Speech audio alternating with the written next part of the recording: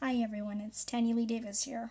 Uh, I just want to give you, I guess, a video of what happened in today's events uh, regarding Ra- Western Rail's treatment of me. It's been a long day, so apologies. Um, yes, yeah, so we were coming back from Plymouth to uh, London Paddington, and we got on the train at 11 o'clock in the morning and I didn't reserve the wheelchair space because I book through an online service called Journey Care, and the form has been acting up the last two weeks, and it's been very difficult to book assistance. But since we are getting on at the beginning of the journey and getting off at the end, that's usually not an issue. So we get on the train, or we get to the train station, and there's no disabled carriage.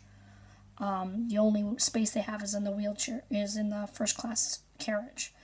And um, the guard was like really weird about, not the guard, the platform guy was really weird about putting me on anyway. And he's like, well, you know, it's not reserved, but if a wheel, a person in a wheelchair comes on, they have priority over you. And I was like, here we go again. Okay, whatever. We'll deal with that when we come to it. So Kevin was sitting, there's the really small wheelchair space, and Kevin was sitting directly in front of my scooter, and then I was sitting across the aisle. And um, we were well into an hour into the journey. We, we got to, um, I'm not even sure what the stop is, before Taunton. I wasn't paying attention. And a woman got on, and there was all this commotion, and I hear the, hear the guard coming on, and he's like, You got to fold up this scooter, and I've got all my suitcases. Meantime, I also have a bag from a man who had this massive, like, sack, like not a suitcase, but a like a bag. He couldn't fit in the overhead, so I, I said he could put it across the top of my scooter. Plus, I had our suitcase or our suitcases on, and so he wanted me to fold the scooter up. And it's like Kevin hurt, you know, uh, sprained his wrist on Wednesday. We didn't want to have to take everything apart nor should I. It's a woman with a baby pram who's who's holding her child now in care. You know, help getting uh, help got help putting the baby buggy on the train, and she's yelling at Kevin to get out of her seat, and that she bought that seat when he was sitting in a non-reserved seat. There was nobody that had reserved the wheelchair space or the chair across from it. Um, I think she, her seat was one of the ones I was sitting in. Um, but anyway. Uh, she kicked up a fit, and then the guard, you know, was basically, you know, giving me shit. And so I got on my scooter, I got Kevin to videotape, and I maneuvered, and I backed up into the door, and I couldn't, like, they had such a hard time getting the baby pram by, and I was like, I don't understand. That comes apart. Why she's holding her kid right now? She also has a, um, a, uh, what do you call it, a car seat thing underneath. So just take the you know, if you don't want to hold your kid, put it in the car seat and then you can sit with the child. Like Kevin was more than willing to give up a seat. Or he, she could have sat where she put the baby on the table. I've seen many people do that. Nope. She had to have that space. And the guard sided with her.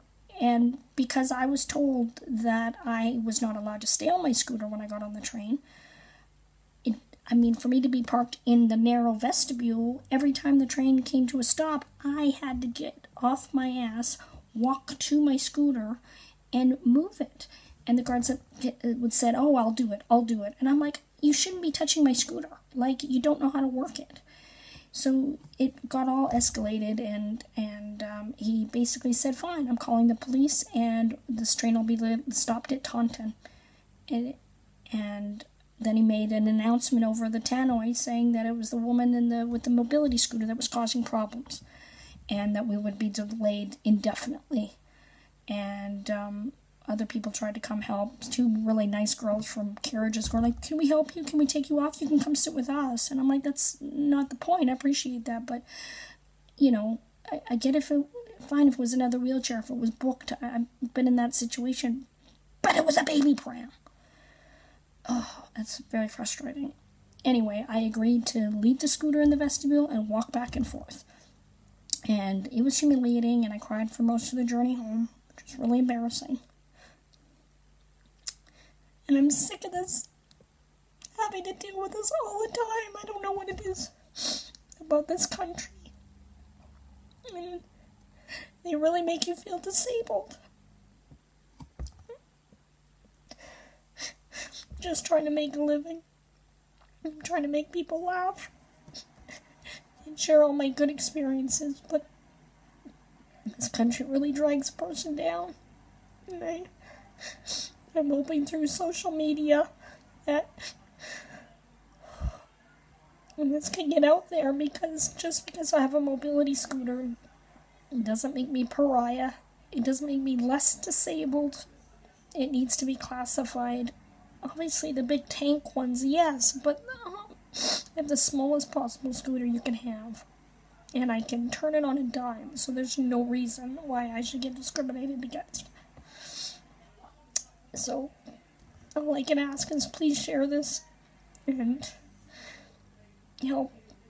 You know, I have a Scooter Girl campaign fa- page on Facebook, and any any help with any of this would be greatly appreciated. Thank you.